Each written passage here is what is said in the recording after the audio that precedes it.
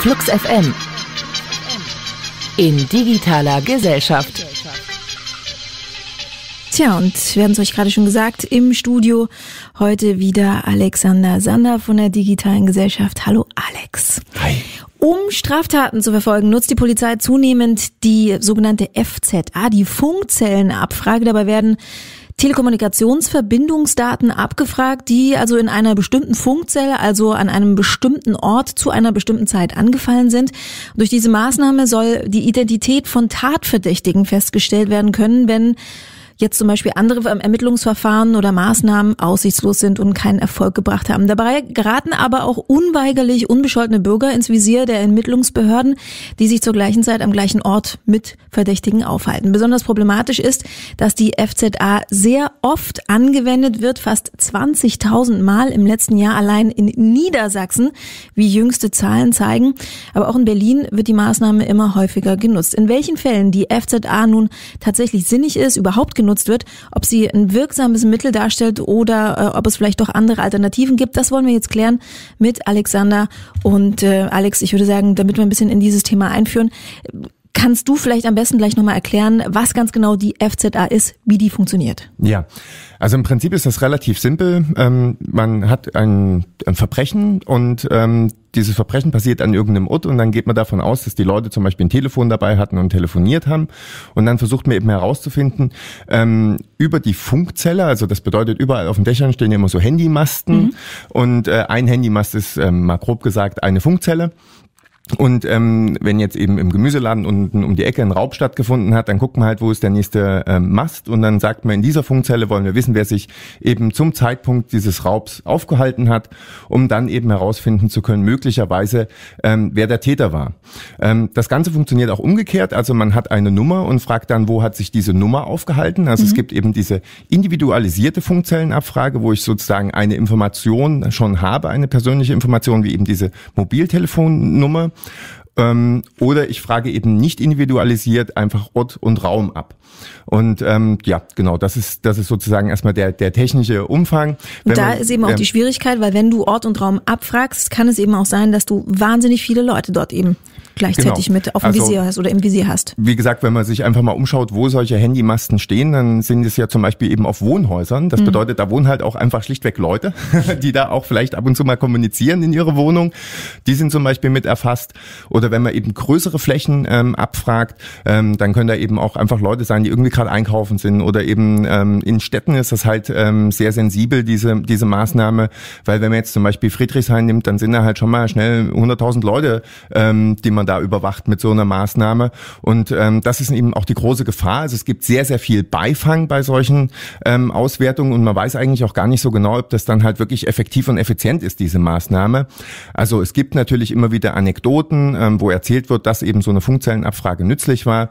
Das kann man sich ja auch gut vorstellen. Also so Bandenkriminalität zum Beispiel, die dann halt zum Beispiel so durch eine Stadt ziehen und dann halt eben sich ein bestimmtes Gebiet ausgesucht mhm. haben, wo sie jetzt eben über einen gewissen Zeitraum so Verbrechen begehen, dass man dann sagen könnte, okay, vielleicht kann man die eben über so eine Funkzellenabfrage erfassen. Nur organisiertes Verbrechen ist in der Regel auch ganz gut aufgestellt. Die werden dann wahrscheinlich ihre Handys eher zu Hause lassen und auf andere Kommunikationsmittel ähm, umsteigen. Aber wie gesagt, es gibt immer wieder Anekdoten, aber wir wissen überhaupt nicht ähm, zum Beispiel die Relation. Also wie viele Funkzellenabfragen haben stattgefunden und wie oft hat eben diese Funkzellenabfrage dann tatsächlich auch zu einem Ermittlungserfolg geführt. Mhm. Beziehungsweise die Leute, die eben auch noch mit in dieser Abfrage stecken, also wenn es jetzt was anonymisiert ist, ist wissen ja auch gar nicht, dass die da jetzt eben auch mit in diesem erlauchten Kreis sind. Ne? genau, also das ist das eine. Also es gibt zwar die Pflicht eigentlich, die Betroffenen zu informieren, wenn sie eben Teil so einer Funkzellenabfrage war, nur versucht man das ein Stück weit zu umgehen. Das ist ein ganz interessantes Manöver, was man sich da ausgedacht hat, nämlich wenn ähm, die Polizei sagt, ähm, es gab diesen Beifang, aber wir haben die Daten ja gar nicht wirklich ausgewertet. Also die waren zwar mit dabei, aber wir haben jetzt keine weiteren Ermittlungsschritte zum Beispiel unternommen. Ähm, dann wird gesagt, äh, dann gibt's auch kein Interesse von den Leuten, dass sie da informiert werden, weil wir haben ja de facto gar nicht so viel mit den Daten gemacht, deswegen informieren wir sie gar nicht erst. Also das ist natürlich auch eine merkwürdige Logik, ja. die dahinter steckt. Und das ist auch eines eben dieser großen Probleme, dass wir auch überhaupt gar nicht wissen, wie viele Personen am Ende tatsächlich eben ähm, in so einer Funkzellenabfrage mit überwacht werden, obwohl sie völlig unbescholten sind und überhaupt nichts mit dem Fall zu tun haben. Mhm. Jetzt würde man ja aber trotzdem trotzdem vermuten, die Polizei kann jetzt auch nicht einfach dahergehen und sagen, so, wir checken jetzt einfach mal hier äh, die Funkzelle, sondern es muss schon auch einen richterlichen Beschluss, diesen richterlichen Vorbehalt ergeben. Ne? Äh, funktioniert sowas oder funktioniert es nur bedingt? Gibt es da Probleme? Also es ist eben auch im Gesetz vorgesehen, dass wenn man jetzt eben so eine Funkzellenabfrage machen will, dass man eben zum Richter gehen muss und den den Fall vorstellen mhm. muss und der muss dann darüber entscheiden. Nur ähm, ist es zum einen so, dass es halt sehr viele Fälle sein können, die dann einfach anfallen und es ist eben auch nur ein Richtervorbehalt. Also das bedeutet, es wird jetzt irgendwie keine andere Seite gehört oder es wird jetzt auch kein Beschuldigter gehört, sondern ähm, die Ermittlungs, der Ermittlungsstand wird sozusagen dem Richter vorgelegt, der schaut dann drauf. Also ähm, ist es zum Beispiel eine, überhaupt ähm, in dem Strafkatalog, der angewendet werden darf, um diese Maßnahme zu benutzen, also eben zum Beispiel schwere Kriminalität, organisierte Kriminalität, ist der erfüllt? Ähm, Gibt es tatsächlich eben äh, einen Tatverdächtigen oder möglicherweise eben äh, die, die anderen Maßnahmen, die bisher durchgeführt wurden, haben nicht zum Ermittlungserfolg geführt und dann kann der sagen, ja okay, jetzt wird diese Maßnahme durchgeführt. Aber das ist natürlich keine wirklich weitreichende Überprüfung, die hier stattfindet und das sieht man eben auch, dass solche Maßnahmen auch im Nachhinein äh, hin und wieder auch von Gerichten kassiert werden, wo dann eben gesagt wird, hier hat eben eine zu ausufernde ähm, Überwachung stattgefunden, also dass eben für zu lange äh, überwacht wurde oder zu viel überwacht wurde, also räumlich zu viel überwacht wurde. Mhm. Also da gibt es einige Fälle, äh, die eben bekannt geworden sind in der Vergangenheit, wo eben äh, trotz Richtervorbehalt eben dann festgestellt wurde, dass hier zu Unrecht überwacht wurde. Mhm. Und wenn man sich jetzt aber auch vorstellt, 20.000 Fälle allein in Niedersachsen, dann ist es natürlich auch ein ganz schöner Haufen Arbeit für die Richter, da jedes Mal irgendwelche Sachen zu unterschreiben und dann erstmal ins Detail zu gehen. Oft drängt ja dann auch die Zeit, wird ja dann auch ganz gerne mit angewendet von der Polizei. Ne? Ihr kritisiert jetzt, dass die FZA also zu häufig genutzt wird. Ähm, sprich, es muss oder ihr habt sicherlich dann auch Anwendungsbeispiele oder Beispiele aus der Vergangenheit, wo das Ganze nichts genutzt hat. Ja, also da gibt's Unmengen von Beispielen mhm. sozusagen, wo das nichts genützt hat. Ähm, eines der ähm, der größten Fälle äh, in der Vergangenheit war eigentlich, wo man 2011 in Dresden äh, eine Anti-Nazi-Demo äh, überwacht hat und dann eigentlich die komple also äh, die Südvorstadt von Dresden über den ganzen Tag komplett überwacht hat. Also jeder, der an einer Demonstration Wahnsinn. teilgenommen hat, also auch noch sein demokratisches Recht wahrgenommen hat, um sich in irgendeiner Art und Weise zu äußern, dann eben ähm, überwacht wurde, weil er an einer Demonstration teilgenommen hat. Und ähm, da sind dann über 800.000 solche Verbindungsdaten angefallen, die dann eben überwacht wurden. Und das ist natürlich ein gigantisches Ausmaß. Und hier hat dann eben auch äh, im Gericht im Nachhinein gesagt, also das ist halt rechtswidrig, was hier passiert wurde. Äh, es gibt auch Fälle in Berlin zum Beispiel, wo dann eben ähm, gesagt wurde, bei einem, bei einem Taschendieb ähm, wurde wurde dann eben diese Funkzellenüberwachung ähm, äh, angewendet, obwohl er dann zum Beispiel auch danach sogar noch eben die Tasche weggeschmissen hat, weil er gemerkt hat, dass er verfolgt wurde. Also es ist eigentlich de facto gar kein wirklicher Schaden entstanden. Es mhm. war alles noch da. Auch da wurde zum Beispiel Funkzellenabfrage angewendet. Und sowas gibt es sehr viel. Und man muss natürlich auch sagen, also es heißt immer in der Begründung für so eine Funkzellenabfrage müssen alle anderen Maßnahmen vorher ausgeschöpft sein. Also mhm. das ist sozusagen das letzte Mittel, was man hat. Und auch hier hat man festgestellt, dass ähm, oft Anfragen gestellt werden, obwohl zum Beispiel DNA-Spuren am Tatort gefunden wurden, aber noch gar nicht ausgewertet wurden. Das würde dann angeblich zu lange dauern. Deswegen muss man jetzt schon die Funkzellenabfrage machen. Und hier zeigt sich ja ganz klar, dass das Problem eigentlich eher ist, dass nicht genug Personal offensichtlich dann bei der, Perso äh, bei der Polizei da ist, um zum Beispiel diese Daten auszuwerten, bevor dann so eine Überwachungsmaßnahme stattfindet. Und das ist natürlich ein, ja, ein riesengroßes Problem, dass hier dann eben ähm, Begründungszusammenhänge aufgemacht werden, die dazu führen, dass hier die Grundrechte von Bürgerinnen und Bürgern äh, mit Füßen getreten werden. Und das heißt heißt aber natürlich auch, dass du dann eben wieder so ein systemisches Problem hast. Das heißt, du hast verschiedenste Baustellen, wo eigentlich angepackt werden müsste. Aber wie würde denn jetzt eurer Vorstellung nach so eine sinnige FZA aussehen?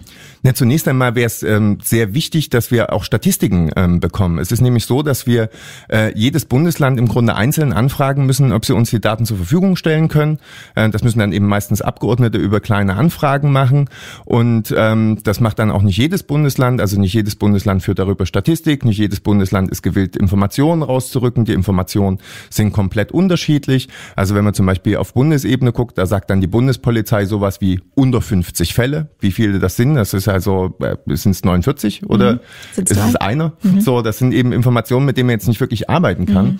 Ähm, dann sagt zum Beispiel Niedersachsen, wir haben 20.000 Funkzellenabfragen gemacht. In Berlin sagt man zum Beispiel, wir hatten 300 Fälle, in denen wir ermittelt haben, wo dann äh, auch äh, bei allen nie wirklich äh, gesagt wird, wie viele Leute denn zum Beispiel auch tatsächlich am Ende überwacht wurden. Das wäre ja zum Beispiel auch mal eine Inform Information, die wichtig ist. Und es wird eben auch überhaupt keine Information darüber rausgerückt, wie oft eben diese Funkzellenabfrage dann auch tatsächlich zum Ermittlungserfolg geführt hat. Mhm. Ah, Weil wenn das in eine Million Fälle nur einmal der Fall ist, dann muss man auch dieses Mittel hinterfragen. Wenn das jetzt aber in ähm, 100 Fällen 99 mal der Fall ist, dann mag das ja tatsächlich eben eine sehr sinnvolle Maßnahme sein. Und um das zu beurteilen, brauchen wir einfach die Informationen und die Statistiken. Die bekommen wir aber nicht und deswegen muss durchaus angezweifelt werden, ob es sich hier eben um eine effektive und effiziente Maßnahme handelt. Mhm. Ähm, unter den aktuellen Voraussetzungen, so wie wir eben ähm, die Funkzellenabfrage jetzt beurteilen, müssen wir sagen, dass das Mittel eigentlich zu sehr in die Grundrechte äh, eingreift, es keine Verhältnismäßigkeit gibt, weil wir eben nicht äh, nichts Genaues darüber wissen und deswegen muss sie eigentlich abgeschafft werden. Mhm. Noch kurze Frage, weil du hast es auch gerade schon angesprochen. Eine Problematik ist, dass man bei Funkzellenabfrage auch gar nicht genau, wie viele weiß, wie viele Leute tatsächlich jetzt im Visier standen, im Fokus standen, wenn von Fällen gesprochen wird, wenn von einer Abfrage gesprochen wird. Kann ich denn jetzt persönlich auch überprüfen, ob meine Daten irgendwann schon mal überprüft wurden oder ob ich in so einer Abfrage mal gelandet bin? Na, das Witzige ist ja, dass es eigentlich diese Informationspflicht gibt. Mhm. Ja, das Problem ist, die wird einfach nur nicht genutzt. Also es wird einfach eben gesagt, du warst zwar in dieser Abfrage drin, aber wir unterstellen dir, dass du dieses Interesse nicht hast. Deswegen müsstest du eben selbst aktiv werden. Mhm. Ähm, da gibt es eben die Möglichkeit, dass man einen Brief dann sozusagen an die Ermittlungsbehörde schickt und eine Datenauskunft.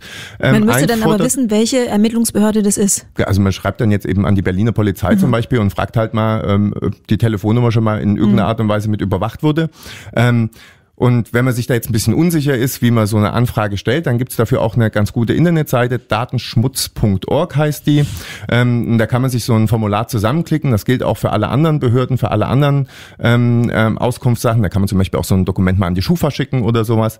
Und da wird einem ähm, sozusagen ein Formular äh, vorgelegt, ähm, dass man dann eben auch äh, einen rechtssicheren Text eben an, an solche Behörden oder Institutionen schicken kann, ähm, wo man eben alle Informationen, die man da angeben muss, auch äh, entsprechend in so ein Formular eintragen kann. Das ist sehr hilfreich. Also datenschmutz.org äh, kann ich jedem mal empfehlen, wer solche Auskunftssachen ähm, machen will, dort mal hinzugehen, solche Formulare auszudrucken und die dann halt entsprechend zu verschicken. Und aber wie gesagt, das Kernproblem ist eigentlich nach wie vor, dass die Leute nicht informiert werden. Und das mhm. ist eigentlich auch das Mindeste, dass hier Leute automatisch informiert werden. Das ist ja eigentlich auch kein Problem, technisch gesehen. Ja, man macht so eine Funkzellenabfrage.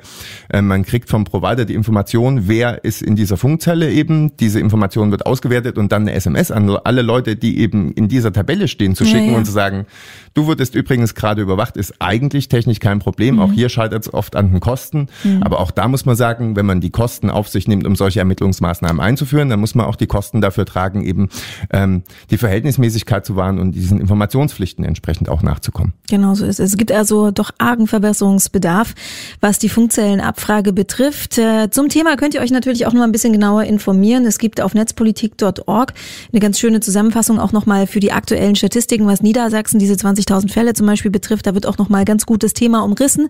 Sicherlich auch bei euch auf der Seite der digitalen Gesellschaft. Also informiert euch, wenn ihr Lust habt, beziehungsweise auf datenschmutz.org könnt ihr dann auch konkret Formulare runterladen. Wer also, und das ist ja eben auch das Ding, ein bisschen zu viel Zeit hat, weil man muss dann eben auch wieder diese Zeit investieren. Ne? Das ist Zeit, Energie. Aber wer halt sagt, so, jetzt will ich es aber genau wissen, hätte theoretisch die Möglichkeit dazu. Datenschmutz.org wäre die entsprechende Seite. Danke dir erstmal, Alexander Sander von der Digitalen Gesellschaft und dann freuen wir uns auf nächste Woche. Sehr gerne. Tschüss. Ciao. Flux FM in digitaler Gesellschaft.